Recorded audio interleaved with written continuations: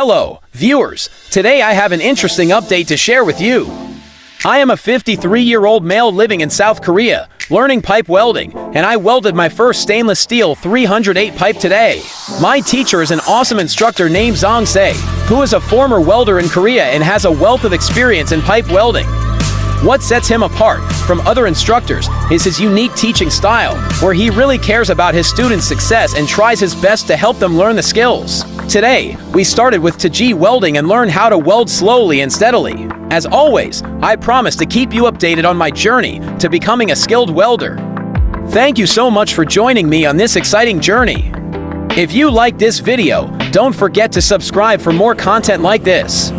Until next time, be safe and keep learning.